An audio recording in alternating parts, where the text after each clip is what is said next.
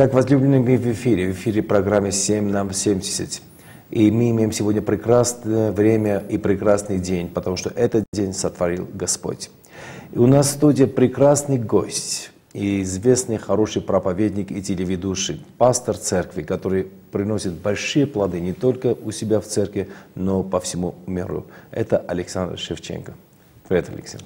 Приветствую вас. Очень рады, что ты здесь в Армении вообще. И большое благословение. Я знаю, какой долгий путь провел, ты приехал, приехал в Армению. И я думаю, ты первый раз здесь, в Армении у нас, да? Да, я первый раз в Армении, первый раз в Ереване. Но путь он недолгий, когда есть а, любовь, любовь к народу, да. любовь к людям. Э, тогда все очень просто. Ну, у тебя было ожидание, да? Просто да, да. Когда мы познакомились тогда в Сакраменто, Артур, угу. с тобой, да. Просто есть такое понятие, как сердце привязывается к да. человеку, и тогда легко, все легко. Да. Александр, у тебя хорошая программа, телевизионная программа, э, мы знаем, очень долго идет, в смысле, в Советском Союзе, бывшем Советском Союзе, э, вроде бы, они видели, когда уже христианский канал был. Но я, когда был в Америке, я узнал, что «Угол», программа «Угол», это было очень давно, не только сейчас появилось.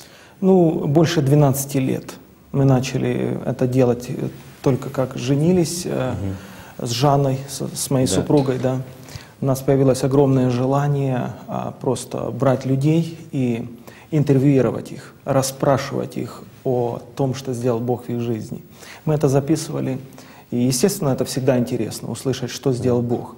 То есть э, бывает э, человек очень, ну, не умеет красиво рассказать, но если ты внимательно его слушаешь, ты можешь в нем нащупать, найти ниточку, угу. что вот-вот, вот что Бог сделал. Вот видите? То есть так обычно просто посмотришь, даже и не увидишь, что угу. Бог что-то сделал в жизни этого человека. Потому что в Библии написано, Бог сказал, если ты научишься извлекать из ничтожного драгоценные, ты будешь как мои уста. О, да. Если человек не способен увидеть Бога просто в цветочке, в букашке, которая ползет, Эйнштейн был способен видеть Бога угу. в букашке. Ну да. Но я думаю, ты как художник, в принципе, рисуешь человека, когда ведешь программу, э, видишь, что этот человек ты какие-то вопросы задаешь, ты находишь что, чтобы вытащить это из это этого человека. Это очень приятно, всегда очень приятно. Найти Божье в человеке. Я думаю, наверное, после этой программы человек сам себя узнает уже. Ну да. Но можно так сказать, что ваша программа – это первая программа такой русскоговорящей для русскоговорящего населения, вот телевизионная программа? Ну, я точно не изучал, кто был первым, но мы были точно одни из первых, да, которые просто стали серьезно это делать, целенаправленно и систематически. Алексей, Александр, такой вопрос я хотел бы задать, потому что телевидение, вот понятие телевидения, делать программы, производить все это самое, очень такой можно сказать, модернизированный, да, это. И представляешь, 12 лет назад, и ты вдруг получаешь сердце просто начинать снимать. Э, как сразу там, я знаю, потому что ты был тогда не пастор церкви, сразу восприняли это все или... Нет, в церкви, в которой я находился, в традиционной, меня вообще хотели взять на замечание, было такое понятие. Передача делать, да? А, знаете почему? Потому что, ну, в студии хлопали люди, допустим, церковь была традиционной, и вопрос поставили ребром. Или ты закрываешь это дело, или мы ну, вынуждены применить какое-то церковное взыскание. Я молился об этом, боролся, я сказал, если вы так считаете, то делайте так. Вы будете отвечать перед Богом, и я буду отвечать перед Богом. Вы отвечаете за свои поступки, братья, я за свои. Угу. Вот, и мы на этом так решили. Но они не смогли это сделать, как бы не захотели это делать. И дальше, дальше, шаг за шагом это обретало очень большое признание. Просто много людей стало каяться, исцеляться просто исцеляться. Посмотрят передачу об исцелении. Поднимается сильная вера в человеке, и человек начинает молиться исцеляется. Да. Недавно в Франции, нет, не Франции, в Бельгии я был. Мощное очень свидетельство. Один человек из преступного мира, из криминала, он, э, ну, не хочу деталей рассказывать, потому что это очень серьезно было в одном из престижных районов Брюсселя. Э, ему попала просто кассета, а его жена уже умирала от э, рака легких, задыхалась, уже вся черная была. Ее последнее желание было, это, чтобы ее похоронили на Украине. Он заказал и дорогой гроб, они были очень богатыми людьми, но неверующий, он был в преступном мире, возглавлял одну из группировок русских э, там в Европе. И когда он послушал эту кассету, э, э, кассета называлась «Выбор и его последствия. Ты хозяин обстоятельств». Mm. Когда он это посмотрел, он уже последний месяц дома не ночевал, потому что уже не мог слушать, как она задыхается. Последние четыре mm. недели. Уже ночевал у друга где-то. И когда он это услышал, он сказал, Бог, если это правда, все, что там на кассете mm. да, говорится, а, я беру три дня поста. И он говорит, Александр, честное слово, я не ел и не пил воды три дня. Я сказал, Бог, если это серьезно, значит серьезно. Через три дня он пришел домой, жена все еще была жива, и он сказал, вставай на колени, я буду за тебя молиться. Она, говорит, стала на колени, он положил на нее руки и сказал просто, во имя Иисуса Христа, дух рака, выйди вон. И она издала такой сильный крик, что он говорит, я подумал, сейчас полиция приедет, потому что это был элитный район mm-hmm. в Брюсселе и у нее хлопок такой, легкие раскрываются, и она начинает кричать просто истерическим, не своим голосом. Во мгновение, моментально, и сто процентов Бог ее исцелил. Wow. Э, они оставили эту банду, они бомжевали, жили в подвалах, кушали, питались со свалки, то есть полностью оставили преступный мир. Сегодня христиане оба. Просто через кассету. Ты представляешь, вот как интересно, вот человек, криминальный человек, и ведь ты же не мог бы прийти к ним домой, а кассета может да. прийти, и телевизор у них дома есть. И знаешь, вдруг человек буквально э, он трансфер, трансфер, э, трансфер, трансферируется, да, полностью меняется, буквально за какие-то минуты становится, трансформация происходит да. в жизни. Он смотрит, О, это сильно. и вдруг он верующий. И не то, что верующий, он идет еще за жену, начинает молиться. Да. да, это очень сильно. Александр, вот такой вопрос тоже. Э, это не секрет, все знают, вот если говорят вот вашу, о вашем программе, вообще в ваших проектах, потому что я знаю, сейчас не только угол, это угол был как ваш пионер. Я да. думаю, угол это ваш пионер, да? Сейчас, по-моему, у вас три проекта, да? Или да, больше? есть позиция проекта. Мы освещаем точку зрения церкви на разные новшества, явления, моды, движения там.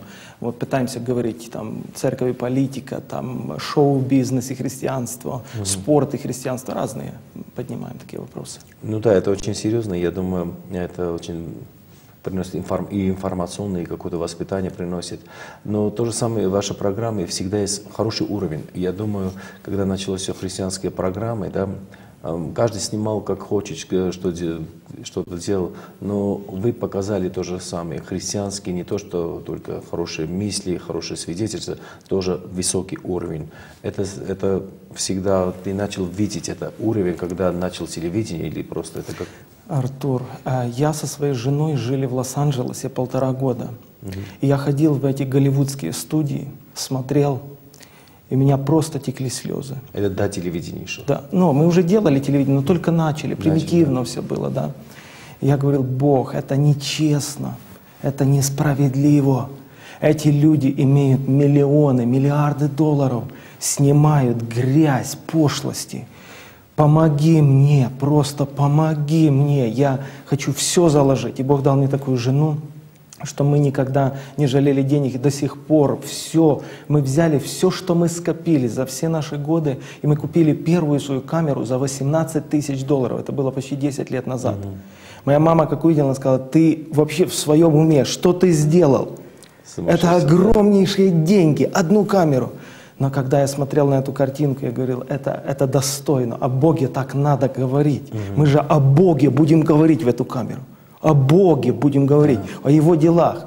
И меня это настолько подрывало и вдохновляло.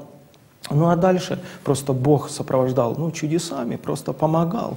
Выходили люди на встречи, и шаг за шагом. Вот ровно месяц назад мы перешли на High Definition, uh-huh. на HD. Мы купили очень хорошее оборудование. Вот, то э, мы очень рады, потому что все это металлолом, оно все должно служить Служить Богу. Все должно служить Богу. Мы не должны Ему служить, мы должны служить Творцу, а оно должно служить нам. Э, теперь вот такой вопрос. Э, вот ты пришел в Голливуд, говоришь, ты увидел это все. И то же самое, ведь есть много литературы, художественной, всякие-всякие, которые христиане игнорируют, просто говорят, это от дьявола. Вот есть, даже если возьмем вопрос литературы, да, э, есть понятия христианские. И если в книге пишется Бог, и слово Бог есть, это значит христианская литература. Если слова Бога нету, ну, Или, есть- или слово Бог с маленькой буквы. Да, или Бог с маленьким буквой. Это значит, там нету Бога. Вообще, э, я знаю, что ты очень много занимался этим вопросом, боролся то же самое, это же то же самое время.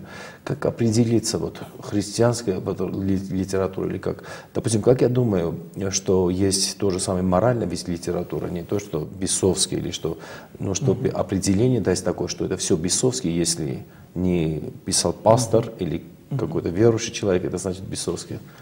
Как ты на это смотришь? Э, Ты знаешь, Артур, я так думаю. Я никогда не могу сказать, что я привел человека к Богу, если этот человек покаялся на моей проповеди. Это было бы слишком го- гордо звучало, если бы я сказал, я проповедовал Евангелие, этот человек покаялся от моей проповеди.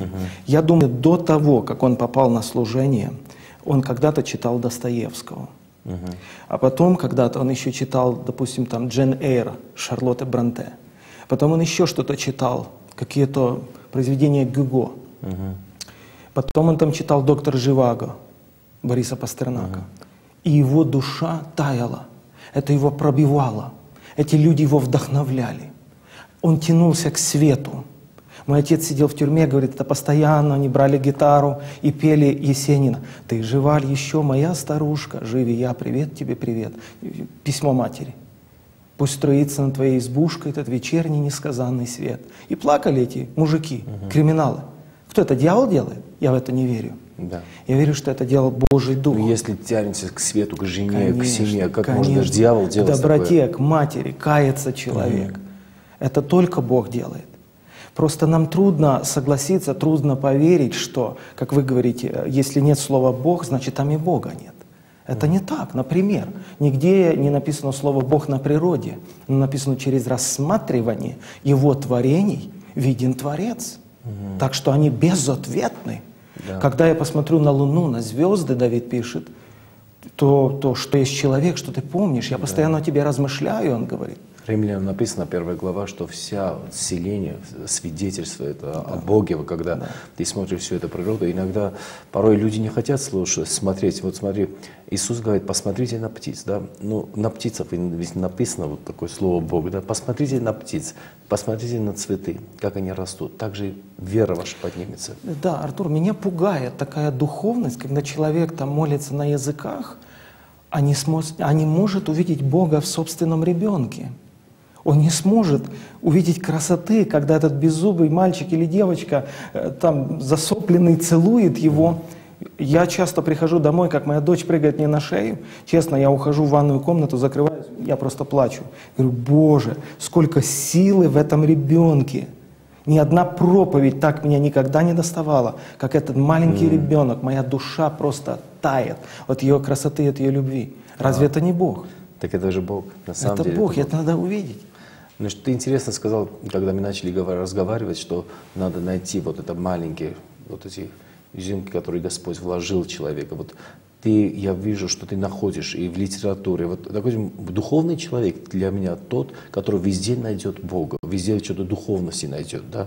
И если человек определяется, вот посмотрел, там бесы, там бесы. В смысле, человек, получается, духовный христи- христианин, больше Бога не видит, больше дьявола видит. А на самом деле мы призваны больше Бога видеть просто в вещах, Согласен. в природе, литературе, все такое. И э, потому что, почему я этот вопрос задал, в бывшем Советском Союзе есть такая тенденция вообще в церквях у христиан. Недавно, буквально месяц назад, я слышал такое, что если вы э, вместо Библии будете читать какой-то классиков или ли- литературу, это значит, это от дьявола можете в ад попасть, потому что ваши мысли по-другому думают, по- по-другому. Я подумал, Господь, а откуда они взяли эти мысли? Вот интересно, откуда они взяли? Ведь Библия об этом не говорит. Да. Я согласен, что есть много плохой литературы. Я согласен, что Библия это чистое учение, чистое зерно. Но все-таки Лев Толстой сказал, что на земле существует огромное количество хороших книг. Нам жизни не хватит прочесть все хорошие книги. Ну да. Зачем читать плохие? Вот потому есть хорошие фильмы, есть хорошие книги, есть прекрасная музыка, богодухновенная музыка. Или мы думаем, что все божественное остановилось, Писание богодухновенны, и больше нет ничего богодухновенного. То тогда и наши проповеди не богодухновенны, и мои стихи не богодухновенны, и музыка не богодухновенна. Нет, богодухновенно очень много. Скажем, Петр Ильич Чайковский, он ну, грешным был человеком, очень грешным. Даже в православных храмах не исполняют его произведений. Но, Ну, талантливый. но он талантлив. Он за несколько дней до смерти без обуви по снегу шел в православный храм, лежал на полу, плакал, каялся. А разве я чище, чем он? Хорошо, мне повезло, я родился в христианской семье. Но его душа жаждала Бога не меньше, чем моя душа. Ну да. Потому я не буду таким гордым, что я святой, а он грешный. Бог знает. Вот э, я думаю, на самом деле ведь должен цер- церковь вообще люди пройти баланс, где есть зло, где есть Господь, где есть просто моральная жизнь. И тоже э, художниках, когда мы говорим, вот, допустим, Айвазовский нарисовал девятый вал, там всего лишь одно бревно. И все зацепились за это бревно. Я думаю, это что-то психологически делает человеку. Вот человек увидел вот эту картину, вот зашел, увидел, да, буря, вот такой, волны, смерть, просто смерть. Ты видишь, я- и лишь одна бревно, и все захватились. И когда этот человек когда-нибудь придет в церковь и услышит, есть один путь, есть спасение, это Господь, он сразу может быть, может быть, он не- сам не поймет, но э, может, подсознательно он вспомнит эту картину Да, я согласен. Что что-то делает. Я думаю, на самом деле мы должны найти баланс, и все-таки, ну, тем более в русских классиках и тоже европейских очень много есть, который воспитывает, воспитывает христианина, воспитывает человека для моральной жизни, чтобы видеть жизнь. Я знаю, э, что очень ты любишь стихотворение, потому что сам пишешь стихотворение. Немножко. Но не- немножко пишешь. Э, Как ты думаешь, Александр, вот э, ты давно находишься вообще в церкви, с детства, можно, можно сказать, в церковном системе, все. Все-таки я думаю, что иногда нам романтизма это не хватает. Вот как ты говорил вчера на проповеди, вот, да, что-то муж лежит вечером, читает жене Пушкина читает или что-то такое. Но на самом деле песня песней, когда смотришь, есть это. Вот не так, что в Библии нету этого романтизма, это вот объяснятие любви. Но ведь можно вот так художественно прийти любви, объясняться к жене или просто пройти группу. Ну я люблю тебя, ну что, да, я в духе, все это самое. Нет, это очень важно. Это очень важно. Знаешь, Артур, когда я открываю первые страницы Библии, там написано, Бог вдунул в лицо Адама дыхание жизни и стал человек душою. Человек — это душа. Вот я много об этом рассуждал. Я сейчас книгу пишу «Виды ментальности». Какие существуют ментальности. И уже да- давно пишу, когда-то допишу, не- нет времени. И я рассуждаю, что такое человеческая душа. Хорошо, Дух Божий коснулся моего духа. Я пережил момент возрождения. Я соприкоснулся с Богом. Озарение пришло. Все это замечательно. Но я остался, есть же я, Саша, есть же я, Александр. Я же не исчез, когда Дух Божий вошел в меня. Я слышал, как проповедники говорят, уже не я живу, а живет И во мне Христос. Христос, да. А ты где? Вообще, ты есть? Где ты? Отдельно от Христа. Ты есть вообще? А, и я Да, начал сильно. размышлять, а что ж такое я? Если вот отдельно от Христа посмотреть на меня, что из себя представляю я, Александр? И я понял, что душа – это комбинация определенных переживаний или опытов.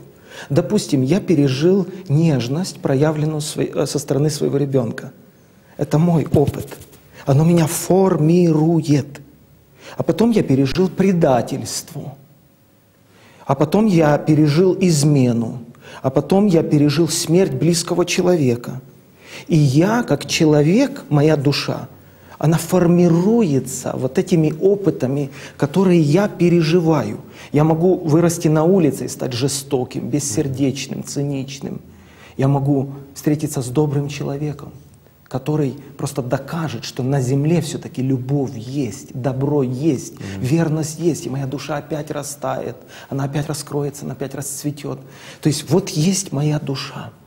Потому я считаю очень большой ошибкой, кстати, опять во многих традиционных церквях очень большой ошибкой считать, что когда Дух Божий коснулся моего духа, Я стою совершенно другим человеком во мгновение.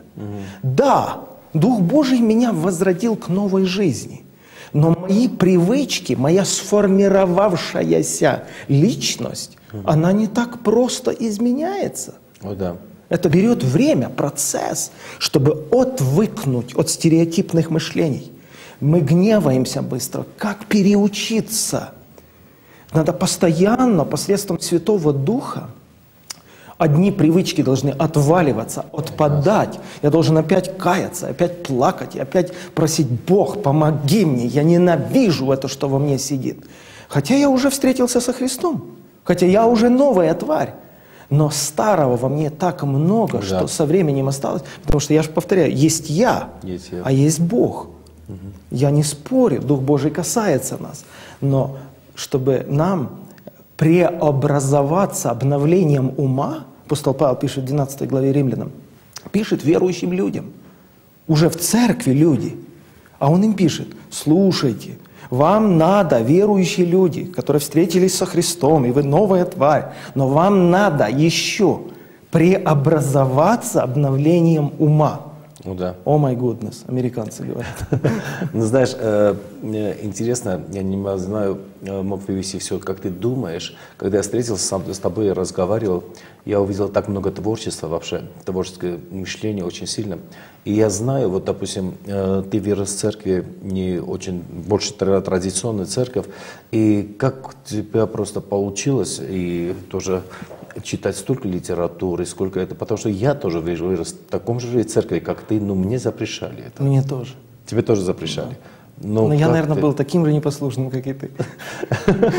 Но э, не было, просто ты имел откровение, что это не грех просто. Но я не думаю, что я понимал тогда, что такое откровение. Я чувствовал сильнейшее влечение, тягу просто читать а, известное произведение. Достоевского, Лермонтова. Стихи читал просто. Есенина вообще все стихи наизусть знал. И я просто ну, чувствовал, что это не грязное. Оно меня облагораживает.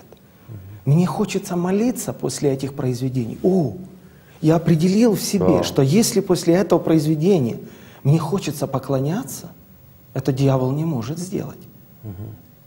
И потому я возвращался снова и снова к этим произведениям. Иногда читал Библию, но иногда вот эта преломленная Библия в жизни там, Достоевского, где он мучается в этой карточной игре, он не может вылезти с этого, как он оплакивает свои грехи. Потом минута озарения, света. Вот оно, оно было как бы разжевано, Интересно, вот понятнее. когда с- просто читаешь произведение «Идиот», столько много христианства там. Там просто, ну, я еще в миру это видел, с- смотрел эту книгу, но когда уже был христианином, верующим, прочитал эту книгу, знаешь, для меня так открылось, он же проповедует постоянно. Он проповедует, как можно Бога предать, как может это самое. Но в принципе, это его так называют идиот, да, но вся книга заключается в том, что в конце э, ему говорят, дорогой, вернись в Россию, ты нужен. Там ты нужен. Интересно, да, что вот это идиот именно в России нужен. Может быть, сейчас очень много умных людей, очень много талантливых, но какой-то человек, который имеет мораль в духе, потому что такой кризис морали сейчас. Все это есть, чтобы стал среди всех, среди 10 человек, которые пьяно сидят, а один смотрит на другую чужую жену, другой ту- туда смотрит, и говорит, ребята, ну что, Богу надо, нельзя предать, надо любить, вот хоть да, она грешница, но надо любить. Вот это идет как раз и нужен. Согласен. Возлюбленная, наша программа подходит к концу, уже подошел, можно сказать, к концу, но у нас еще будет программа с Александром Шевченко. Когда встречаюсь с этим человеком, я думаю, невозможно, чтобы у кого-то не открылся вообще творческое мышление, творческий дух. Я верю, что Господь не призвал нам только входить в духе, Господь нам призвал полноценным быть. Просто дух, душа, тело должен служить Господу. Я верю, когда ты сегодня смотришь на нас, пришло время, что ты можешь творить. Просто начни творить, потому что ты имеешь творческий не только дух, но в то же самое время творческий разум.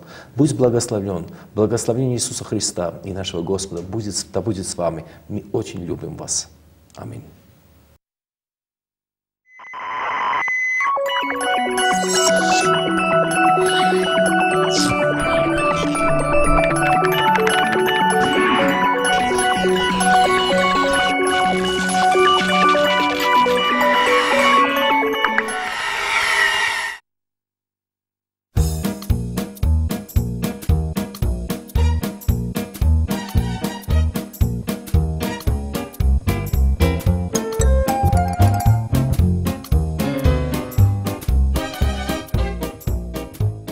Господи, как ты мог такое допустить? Я уже вдвое дольше верующий, чем Петров. Это меня должны были избрать руководителем, а не Петрова. Нечестно все это. Где же справедливость? Господь, куда же ты смотришь?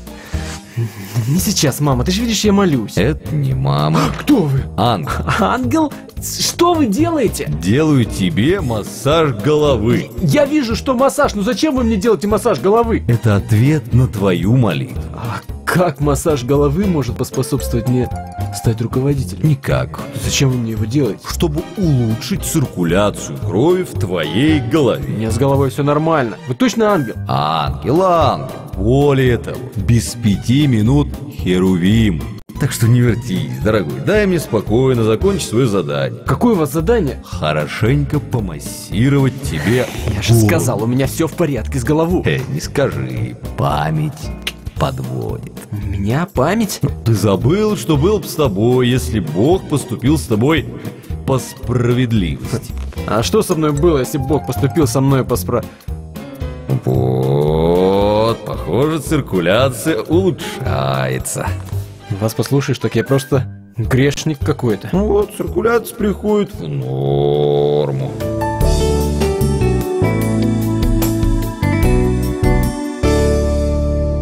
Если Бог поступил со мной не по милости, а по справедливости, Иисус никогда бы не пошел на крест. Ну вот, задание выполнено, я побежал. Постойте, Чего? поблагодарите его от меня, ладно? Ладно. Кстати, ты не мог бы черкнуть для меня рекомендательное письмо для приемной комиссии? Да запросто. А много ангелов претендуют на место Херувима? О, очень много. Но я лучшая кандидатура. А ну дайте-ка я вам голову помассирую.